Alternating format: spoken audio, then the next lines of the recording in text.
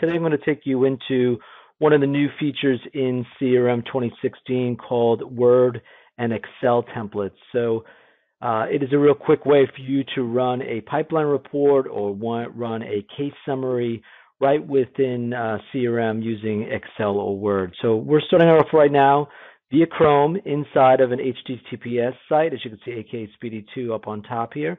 And I am in the sales module of Dynamics CRM. So right here, I have my open opportunities, I have my five opportunities, and you'll note that there's a new feature right here called Excel templates.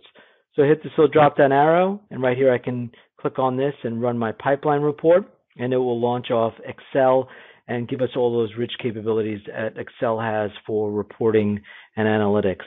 The same is true with service as well. If I click on this little hamburger here and click on service, go to cases, it will bring up all of my open cases, my active cases, excuse me, and I can do the same thing. Excel template, click the little drop down arrow, and I can do a case summary right here, and I can download my case summary report.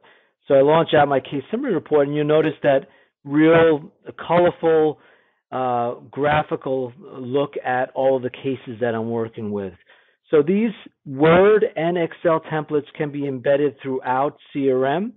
So you have instant access to all of those apps that uh, are made available through Office 365.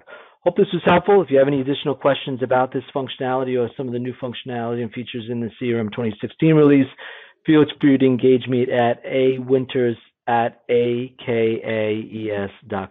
Thanks and have a great day.